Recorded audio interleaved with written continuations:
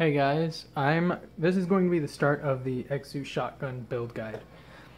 Um, I'm gonna just kind of approach it in a, just sort of a linear way. I'm gonna just go over how I make all the components work and how to place them, and roughly how to measure them. I don't know that I'll be doing a ton of the cutting and and those sorts of things on on film, but we'll see what what we can do. You know, we'll see how it goes. Um, I've already prepared the magazine. I have a video for that that will be. I'll link to all the videos in this this one. So this will be sort of a directory to get to all of them uh, when they're made. It's this is going to be at least a few weeks of of work to get all these videos put together and to get the shotgun built it's not a small mod. If you are not really comfortable both with chopping up a $65 shell or $80 with shipping and with installing the parts and making all kinds of cuts, um, I had to make, on the first one, I had to make some cosmetic additions that were hand hand built, they were scratch built. Um, they could have been modeled, but I didn't want to. I didn't I've been getting more comfortable with 3D printing myself, so, um, and we didn't have actually a, a full-size spool. We had little ones that came with like a printing pen when we got our printer, so, um, so this is sort of new for me. Anyway, um, so to start this video, as, as I said, is going to be like a directory, but it's also going to be going over the basic components that you'll need.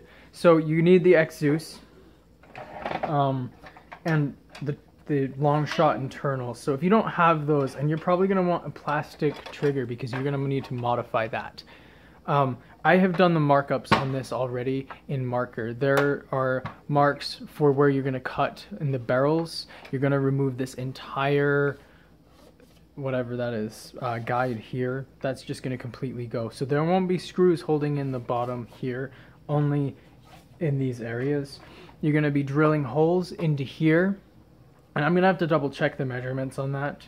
I can't remember which one I was supposed to go with them two holes two lines here so um, I have the two lines drawn out, not exactly, I have to, I can't remember exactly how I cut those out, for the shell stop and uh, shell interrupter. Those are internal parts that allow it to index. Um, there's the ejection port, and that about covers all of the external cuts that you'll be making. Internally, pretty much all of this ribbing and the barrel holding here is to go. You're to leave almost nothing here. All of this will pretty much go. This is one one way. You can't go back from this if you make it this way. So you know be prepared for that.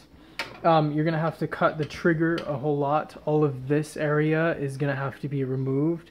Back up to this square here and I think that that has to get cut out too if I remember correctly um, some of this I'm gonna have to remember as we go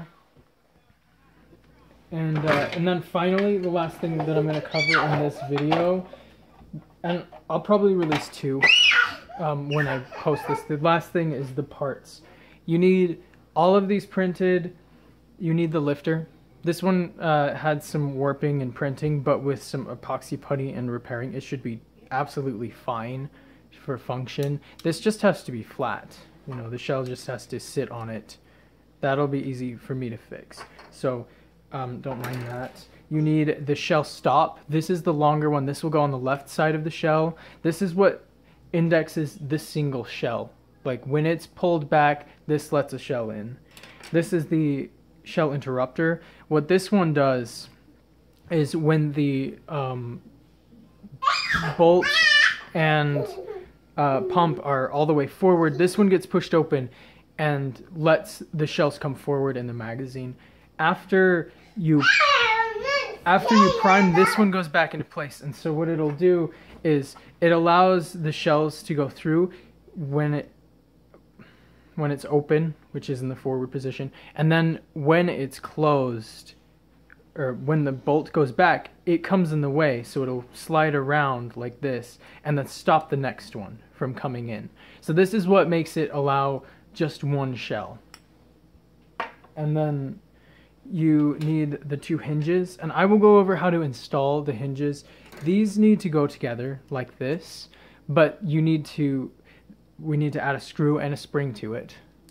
And then um, finally, well not finally, you need these two guys. These could be made out of ABS or polycarbonate. They're just little little cams to um, interact with the shell stops. They just go like this, and they make it so that it moves.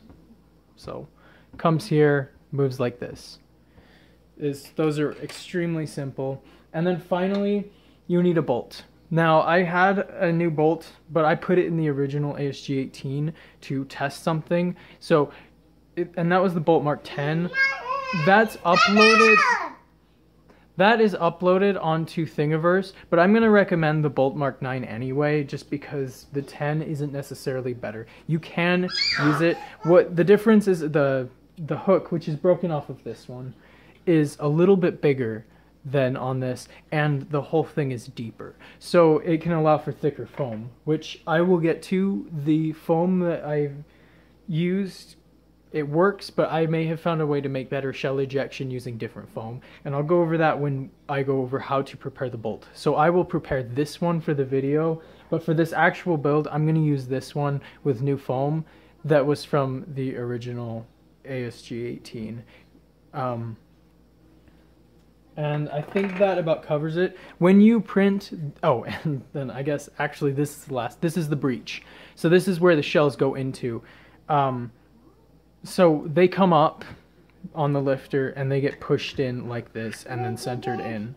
So this does have some give that if it got rotated, it won't shoot. So you might have to bore out the material here. For shooting megas, you'll definitely have to bore out these middle tabs some. That shouldn't be a big deal. I mean, that should be quick work with a Dremel. And the shell has to slide in without any significant friction. If it's not, then it's either an older version or it printed too small and you'll need to print it again because if the shells can't go in, it will, um, in, when it comes to pull the shell out, if there's too much force on here, it'll shear the, the uh, extractor, um, extractor rod, extractor hook right off and then it'll be totally useless. So, um, and these are these are all printed in PLA plastic. I haven't had problems with that for the most part, but um, that is something to keep in mind that they could be damaged. Um, they can get damaged by heat warping them. So that's all worth considering. If you could print them in ABS plastic or um, PTG, you might want to, but um, I have run the ASG 18 at well now like about four wars and never had a problem with a single one of my printed parts in the war. Um, I've never had an issue with it like failing on me or them failing in, in mid game or anything like that. So the PLA seems to be more than more than sufficient and in some cases like the shell stop the rigidity of the PLA plastic is is pretty crucial for this functioning properly because it's going to be under force from this direction. And if it can bend when i tried making this out of abs and polycarbonate they did not have the rigidity necessary to work when i cut when i scratch built these parts which is part of why i started printing all of them.